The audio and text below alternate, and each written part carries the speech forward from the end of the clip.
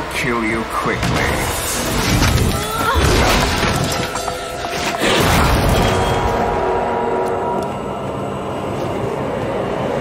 You will not live to see the dawn.